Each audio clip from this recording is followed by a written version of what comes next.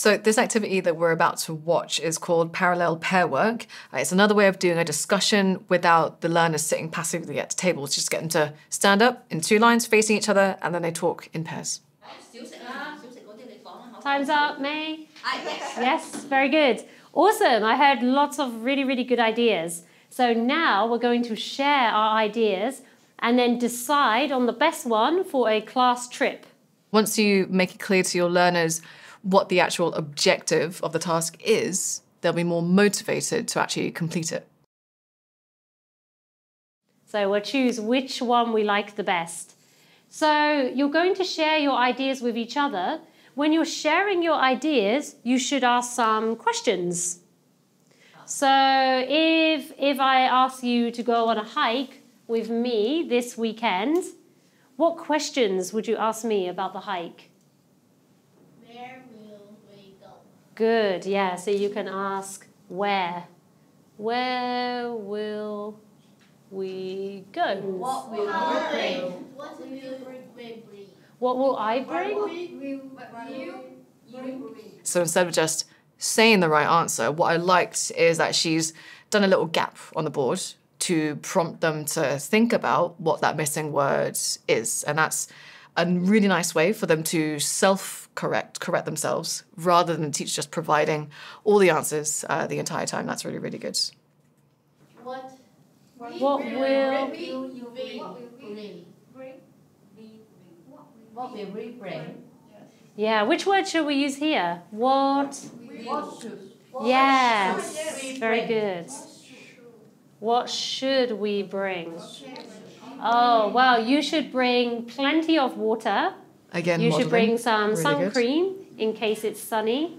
And you should bring a poncho in case it rains. You can bring a hiking pole because it's very steep.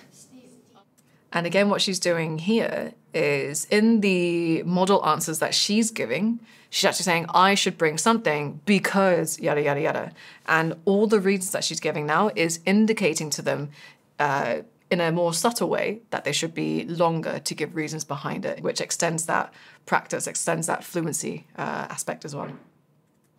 Yeah, it's very steep. So you should bring a hiking pole. Good. So I want you to ask the your classmate some questions about the hike.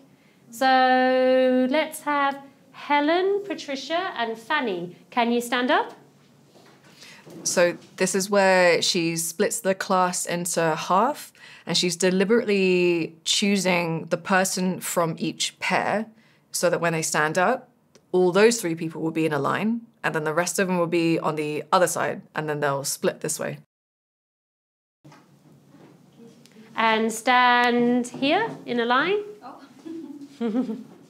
One, two, three. And then You can see that they're uh, not so used to standing up and communicating, which is quite typical for, for adults, right? But that is why this parallel aspect, that standing up aspect of this activity is so important. It gets the blood pumping, more things are like awake in your mind, and you're you're more there's a tendency there to, to activate more language if you're like standing up and sort of replicating a conversation in real life. So this line, you are going to tell them about your hike that you planned, and this line, you are going to ask questions. Oh, yeah. Okay? So uh, Helen, Fanny, and Patricia, what are you going to do? Answer. Yes, Answer. answer Answer they the ask question. read the question. Yes, good. Good ICQs from Clare. Always good to check what side of the parallel lines are asking what questions or what they're responding to. We should, we should bring Pong, pong chop, pong chop. Example, First aid kit, first aid kit. Okay. How how do you get there? and uh, Uh, we will go there by peak train, peak train, And peak then? train, how will and you then? get there? working How will hard. we get there? Ah, working hard. We will MTR. so much. No, no, uh, Victoria Park by Better by. Uh, what what will you wear? Oh, by the to Central Station. Oh, then So you can see the more they're talking, the more that body movement is coming into play, right? Uh, the, the the woman in the middle on the on the right hand side, very very uh, animated, right? She's starting to like say, "This is a poncho. Got to bring a backpack," that kind of thing, and that. Uh, moving towards, yeah, exactly. That's exactly what this uh, parallel speaking activity is all about. That that kinesthetic kind of energy that's flowing. Okay, guys. Uh, so now Fanny, Fanny, can you go to the end? And Helen, come here. And Patricia, come here. Yes. Yeah. So change the partner. Right, and, and this is that ease of changing partners that we were talking about before. She only, Clare, only needs to tell one person to move and then the other two to, to shuffle up. Yeah. So this line will ask the questions. Okay. Two minutes again. uh, comfortable uh, clothes, uh, sports shoes, uh, sun, how will you get there? Uh, I will buy the MTR to Shopkins station. And then And you can also see that these students are still quite engaged with each other, even with this second round of partners coming up, right? Because even though perhaps, yes, they're using the, the same kind of questions, the responses uh, that they're getting from the other person, they won't always be exactly the same, right? Uh, and they'll have to actively listen to their new partner in order to, to process that information and to ask an appropriate follow up question afterwards as well.